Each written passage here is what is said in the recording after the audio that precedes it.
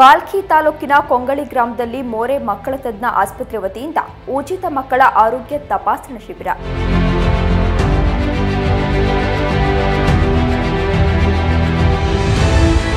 ಬೀದರ್ ಜಿಲ್ಲೆಯ ಬಾಲ್ಕಿ ತಾಲೂಕಿನ ಕೊಂಗಳಿ ಗ್ರಾಮದಲ್ಲಿ ಮೋರೆ ಮಕ್ಕಳ ತಜ್ಞ ಆಸ್ಪತ್ರೆ ವತಿಯಿಂದ ಉಚಿತ ಮಕ್ಕಳ ಆರೋಗ್ಯ ತಪಾಸಣಾ ಶಿಬಿರವನ್ನು ಹಮ್ಮಿಕೊಳ್ಳಲಾಗಿತ್ತು. ಶಿಬಿರದಲ್ಲಿ ನೂರಕ್ಕೂ ಹೆಚ್ಚಿನ ಮಕ್ಕಳು ಹಾಗೂ ಮಹಿಳೆಯರ ಆರೋಗ್ಯ ತಪಾಸಣೆ ನಡೆಸಿ ಉಚಿತವಾಗಿ ಔಷಧಿಗಳನ್ನು ವಿತರಣೆ ಮಾಡಲಾಯಿತು.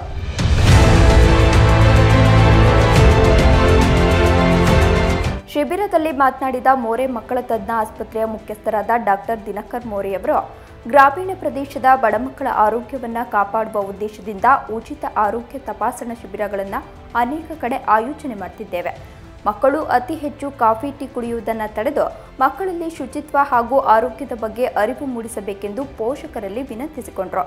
ಮಕ್ಕಳನ್ನ ಸೇವೆಯನ್ನು ಮಾಡಬೇಕು ಈ ಉದ್ದೇಶದಿಂದ ಟ್ವಿನ್ ಡಬಲ್ ಉದ್ದೇಶದಿಂದ ನಾನು ಹಳ್ಳಿ ಹಳ್ಳಿ ಎಲ್ಲಿ ಗ್ರಾಮ ಪಂಚಾಯತ್ ಇದ್ದಾವೆ, ದೊಡ್ಡ ಊರಿದ್ದಾವೆ, ಅಲ್ಲಿ ನಾನು ಮಕ್ಕಳಿಗೆ ನೋಡಿ ಅವ್ರ ತಾಯಿ ತಂದೆಗೇನು ಪರಿಚಯ ಮಾಡಿಸ್ಕೊಳ್ತಾ ಇದ್ದೀನಿ, ಔಷಧಿ ಹಂಚ್ತಾ ಇದ್ದೀನಿ.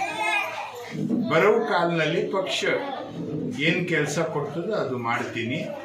ಮತ್ತು ನಾನು ಇದೇ ಹುಟ್ಟಿದ ಊರು, ಈಗ ಕಡಿತನ ಇಲ್ಲೇ ಇರೋದು ನಾನು ನಿರ್ಣಯನೂ ಕೂಡ ಮಾಡಿಕೊಂಡಿದ್ದೀನಿ.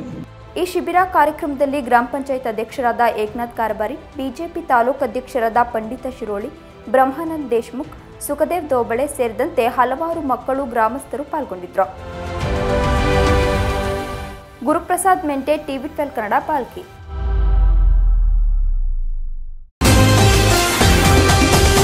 TV twelve Kannada, ಇದು ಕನ್ನಡಿಗರ ಧ್ವನಿ.